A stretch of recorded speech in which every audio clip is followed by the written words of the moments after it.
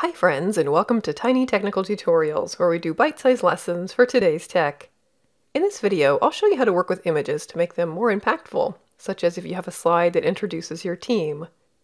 We'll see how to take something like this, which was made using SmartArt from PowerPoint, adding some images and a pop of color, and we'll see how to transform it into something more like this, with larger, more impactful images that really make the team front and center. Here in PowerPoint I'll insert a new slide You'll see that I don't have any fancy master slides or layouts here. I'm just using the blank presentation that's built in with PowerPoint. I'll select a blank slide, and now we need some images. I've downloaded four images here from Pixabay and Pexels, where you can get free images yourself.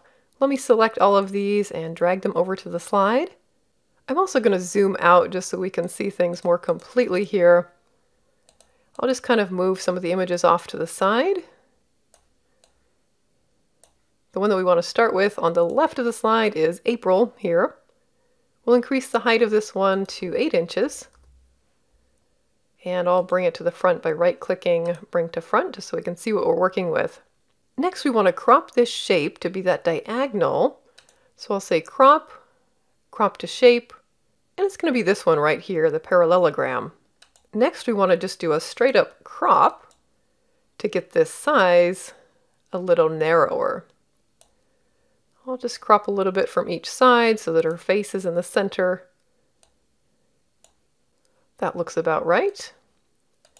For width, I'm going to make this an even 4.8 just so we can make the others the same size. And then I'll drop it over here on the left of the slide.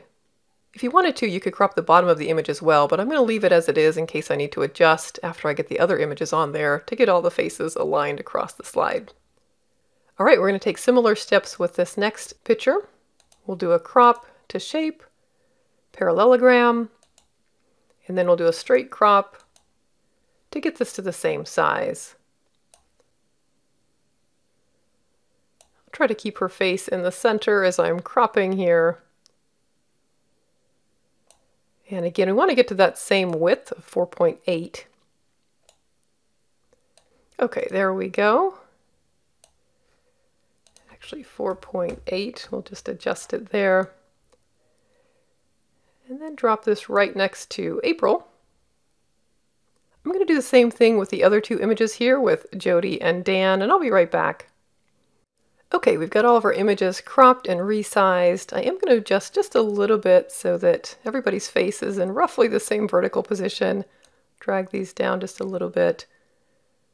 For Dan's image over on the right, we do have this little bit of slide on the bottom, so we need to nudge this one out just a little bit more, and I'm actually going to enlarge it as well. So it'll be slightly different size than the others, but we want to make sure there's no white on the edge of that slide there. Use my arrow button to nudge it just a little bit more.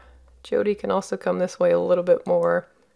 And if you'd like, once you've got everything aligned, you can crop the tops and bottoms of the images. All right, now that we've got all the photos in place, now let's add a shape where we can place people's names. So I'll grab a rectangle shape, just drop it roughly here. For fill, we'll go with a dark gray. No outline, and then if I right click the shape and say format shape, let's go down to fill, give this a little transparency, maybe 25%. There we go. And now we need to drop the names in. So we'll insert text box, just kind of eyeball this one here. This is April, and April is our program manager. Center this, make it white just to make it pop a little bit, and then we'll increase the size of the name, make that a size 24. Okay, kind of center that over her picture. And then I'll copy paste this and update it for the others. I'll be right back. Okay, there we go. Everybody's got their name and title displayed now, and I adjusted some of the pictures just a little bit to get things to align better. Let's view this in slideshow mode. I think that's looking pretty good. So there you have it. That's one way that you can take ordinary images and make them more impactful. If you found the content valuable, we always appreciate the likes, subscribes, and shares.